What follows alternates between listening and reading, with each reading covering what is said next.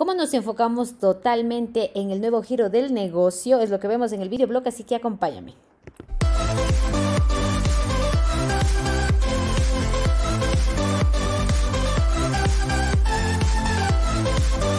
Negocios en Digital 805. Hola, hola, ¿qué tal? Nuevamente bienvenidos al podcast, al programa de, ya saben, negocios en digital. Y el viernes hablamos del videoblog, lo que Katia como CEO y dentro de su equipo de trabajo con la agencia hacemos, pues, y bueno, ahora es enfoque total, hoy viernes 22 de octubre del 2021. Bueno, ya saben, dudas, inquietudes, em, si quieren como profesionales eh, salir en el podcast, también nos gustaría que nos comenten katiaman.com slash podcast slash contactar, perdón. Y, nada, ya saben, los viernes nos relajamos un poco y les contamos las experiencias, lo que hemos vivido, lo que hemos pasado durante toda esta semana. Así que, pues bueno, a ver, a ver, a ver, sí que ha sido una semana muy feliz, muy feliz, em, muy liviana. Wow, es que es impresionante. Y esto eh, eh, en parte del enfoque total. ¿Por qué? Porque ahora, bueno, llevamos una cola, digamos así, de lo que hemos venido trabajando antes, ordenando procesos. Hay clientes que nosotros estamos cerrando ya, este, no vamos a trabajar. Y esto, o sea, ha sido una... Eh, una decisión fuerte de tomar, pero cuando tienes claro cuál es el proceso, cuál es el enfoque que le quieras dar, pues sientes un alivio, o sea, y, aquí hay algo que, escuché hoy en una de las mentorías que estoy siguiendo, que decía, claro, tú debes tener, eh, dar o brindar el mayor, eh, el, el alto impacto, debes dar alto valor con el mínimo esfuerzo y con la mayor rentabilidad. Y claro, es, fue uno de los clics que yo me di cuenta eh, que nos estaba pasando. Nosotros estábamos dando valor, pero mucho valor poco entendido porque lastimosamente hay muchas empresas que todavía no tienen ni dimensionan lo que significa implementar estrategias de marketing digital. Y esto es un desgaste. Entonces, mientras más conoce eh, la persona, el, empresario, la empresa, sobre los diferentes canales dentro de marketing digital, va a poder tener eh, entender y valorar el servicio. Si no, no. Entonces, claro, ahí está tener claro tu cliente objetivo. Y claro, buscar soluciones escalables. Es que justamente es esta frase, eh, pero impactante, ¿no? Alto valor con el mínimo esfuerzo y con la mayor rentabilidad. Es decir, una de las... He estado mentoreándome esta semana, como ustedes no tienen idea. Eh, pagué con una, para una, que de hecho es una inversión, para una formación de alto nivel que estoy haciendo para este, gestionar el tema de ser un closer de ventas y para poder cerrar ventas de alto impacto. Y así que solo con este entrenamiento, el primer entrenamiento gratuito que nos brindaron, estuvo espectacular, así que no me importó pagar lo que pagué para poder este, subir el nivel, porque eso es lo que dije, no, o sea, ya hemos aprendido mucho y todo es por algo, ¿no? También eh, aquellas personas que piensan que no son las coincidencias. De ahí hay una frase muy interesante que me gusta de Deepak Chopra que habla sobre el sincrodestino. La vida normalmente te está dando evidencias, cosas, indicios de lo que tú podrías o puedes hacer en tu vida, pero muchas veces estamos tan desconectados con, eh, con, lo que hacemos, que a veces trabajamos por piloto automático. Así que todo este, este enfoque que les menciono ha, ha sido que nosotros tomamos decisiones muy radicales y que sobre todo yo como líder he estado mentorizando a mi equipo para que se alineen con esta eh, nueva forma, ¿sí? Justamente enfocarnos en nuestro producto, o sea, ya vamos a, no vamos a trabajar para otras empresas, vamos a dejar de implementar, ya antes nosotros vendíamos eh, el servicio de te implemento tu web, te implemento una estrategia de SEO, desde...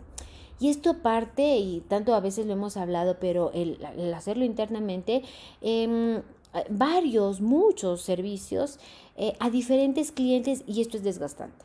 O sea, ahora sí o sí se está aplicando este concepto de un enfoque claro, eh, una, eh, el trabajo de todo el equipo no disperso en implementar soluciones para otras personas, sino para enfocar el proyecto. Entonces, nuevamente, comentarles que dentro del modelo B2B les voy a poner las mismas acciones porque seguimos trabajando en especificar claramente los nichos de mercado, en determinar las diferentes soluciones, ¿no es cierto?, para estos nichos, en, partir desde soluciones gratuitas. Hemos recibido también un feedback poderoso y, bueno justamente de aquellos em, clientes que están en este nuevo enfoque de servicios que queremos dar, que a la larga, bueno, ¿cuál es esa propuesta? Es que nosotros nos vamos a enfocar en mentorizar y informar a profesionales y empresas que quieran generar leads B2B dentro de LinkedIn, aplicando diferentes estrategias e incluso dentro del propio LinkedIn y estrategias de Grow Hacking. ¿Sí? Así que seguimos nosotros em, aplicando todo esto. Nosotros hacemos de conejillo de indias eh, con nuestras propias cuentas y con algunos de los clientes que hemos eh, trabajado en esta nueva línea y que hemos sido sinceros y le hemos dicho, mira, estamos en esta fase, de hecho, no sé si ustedes vieron que dentro de las redes sociales sacamos lo que es el, design thinking, o sea, hemos, sin darnos cuenta, hemos estado, eh, empatizamos con, un con una necesidad Sí, que es muchos profesionales y empresas ahora, hoy por hoy, en pleno siglo XXI, cuando los canales digitales es, el medio donde están, no saben cómo conseguir nuevos leads, no saben cómo relacionarse porque pues utilizando las técnicas de la vieja usanza, por teléfono, por correo, por un evento físico que posiblemente puede ser muy caro y que ya no se lo puede hacer con tanta frecuencia. En fin, con todo esto hemos identificado ese, ese digamos, esa necesidad y, hemos, y ahora estamos en la parte de Lean Startup, estamos em, inventando, diseñando la nueva, la nueva ruta que vamos a trabajar, ¿no? Así que, bueno, felices, felices, mil por ciento felices. El podcast también está teniendo muy bien impacto. Está gustando mucho este formato de que es una, eh, un podcast enfocado en los negocios y que, pues bueno, eh, hablando de esto, hemos entrevistado a Sergio Plaza, quien nos va a comentar, es un ecuatoriano, de lo que entiendo, y él está en eh, Honduras, si no estoy mal. Se me van los, los, lugares en este momento. Y él nos va a contar un caso de éxito de que él lanzó un proyecto de gratuidad para de conexiones en internet y fue todo un éxito. Eso él nos va a compartir.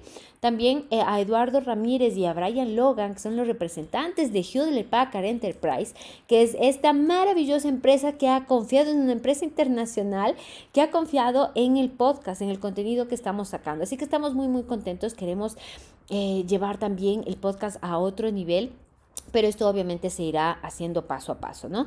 a otra persona también que entrevistamos fue a Eduardo Torre, eh, Tarré, perdón, disculpen, Eduardo Tarré, quien este, nos va a comentar cómo asegurar el patrimonio de las empresas, ¿no? Empresas ya que sean más grandes, cómo hacerlo esto, ¿no?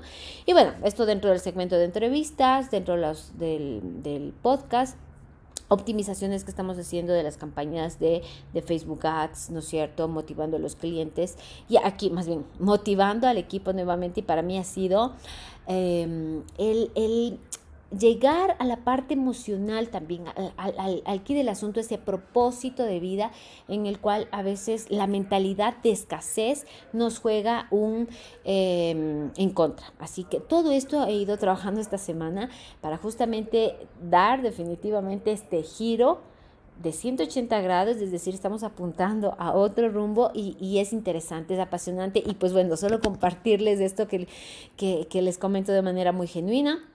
Eh, y nada, espero que también les sirva de inspiración y si en algún momento ustedes están en ese punto de inflexión, lo hagan. Lo hagan porque sí, lo vale la pena, pero obviamente siempre y cuando sientas que es el camino, ¿no? Esto es importante sentirlo y se siente. Así que pues bueno, eh, con esto rematamos la semana, ya saben, por fin viernes a descansar y nos vemos y nos escuchamos el día lunes, aunque acá sea feriado, lunes y martes, vamos a hacer el podcast, ya saben, la promesa de lunes a viernes siempre. Se les quiere mucho, un fuerte abrazo, chao, chao.